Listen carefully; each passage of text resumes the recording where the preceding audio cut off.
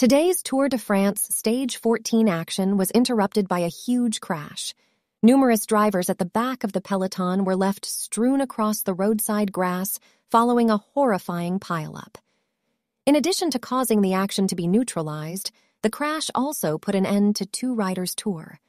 Shortly after the incident, it was confirmed that unfortunate Movistar rider Antonio Pedrero had been forced to abandon the 2023 Tour de France.